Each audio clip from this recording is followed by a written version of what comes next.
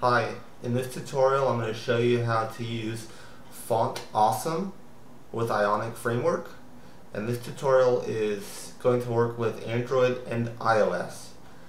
The advantage to using um, Font Awesome versus the stock Ionic icons is that Font Awesome comes with 400 plus glyph icons whereas Ionic Icons only has so many. I don't I don't know the exact count off the top of my head, but it, it's certainly not as many as Font Awesome.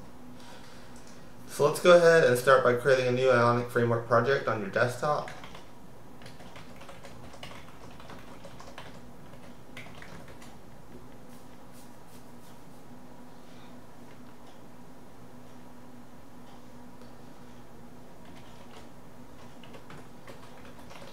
Then we're going to go ahead and add the Android platform.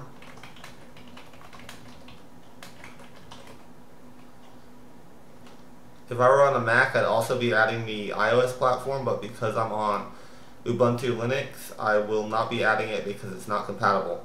But this tutorial works perfectly fine with iOS as well, so don't worry. So now that you've got your project on your desktop, let's go ahead and open it.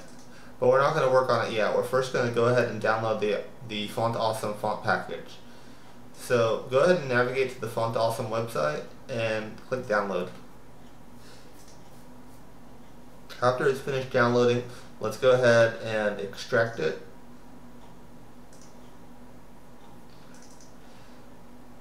And what we're going to do is we're going to go ahead and, and copy the, the entire fonts folder into our www uh, root folder of our Ionic project. So it'll just be in, in the www folder.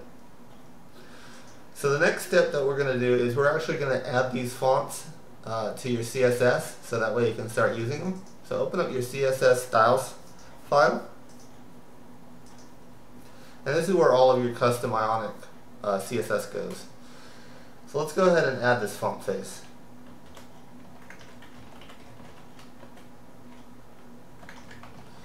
We're going to call this font family font awesome.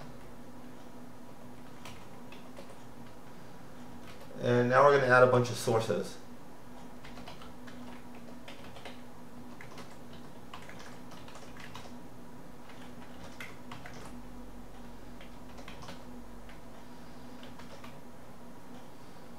Let's go ahead and copy this because it's going to be the same.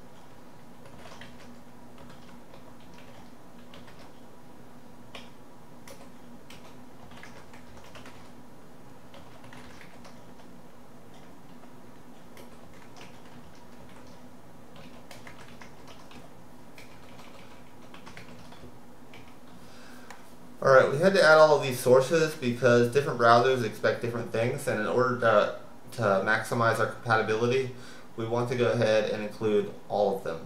And lucky for us, uh, Font Awesome includes all of these files out of the box for us. Uh, it makes things really easy when making our cross-compatible Ionic framework um, project with Font Awesome.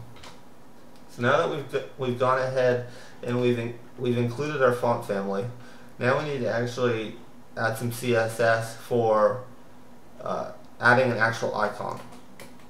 So in your style.css file, go ahead and add the following.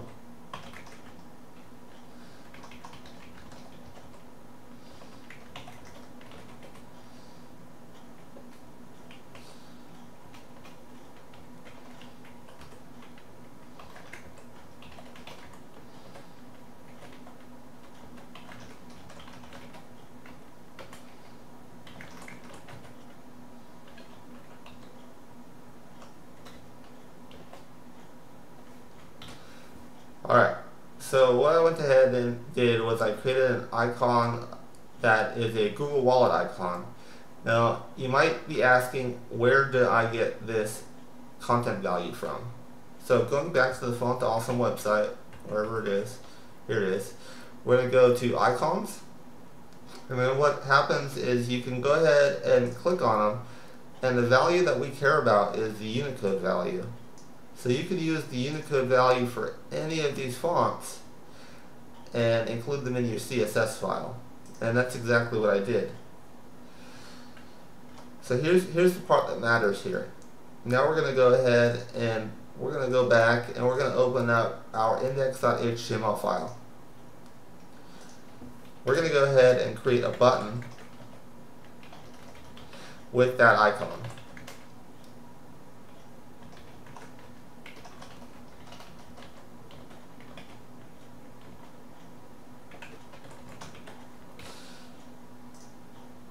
Now, if everything went smooth, we're going to open up in Firefox and notice that icon is there.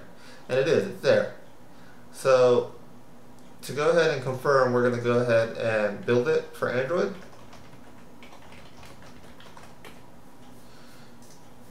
Let me go ahead and uninstall my old project while it's building. Again, if you're on a Mac, you can go ahead and build for iOS. It's just that I cannot.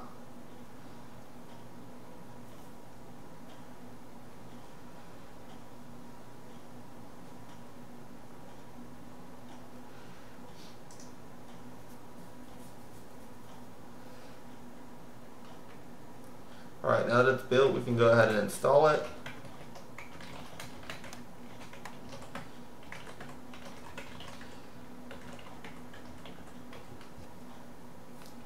And let's run it. And as you can see, we've got a button with a Google Wallet uh, icon on it. And just like that, you have you have so many icons at your finger at your fingertips here. It's just it's just awesome. Uh, if you if you liked my video tutorial, please subscribe to my channel. There is also a write-up on my code blog on my website, which you can access a full write-up on this video tutorial. Uh, please go ahead and subscribe there as well. Uh, there's going to be a lot more great videos to come. Thank you.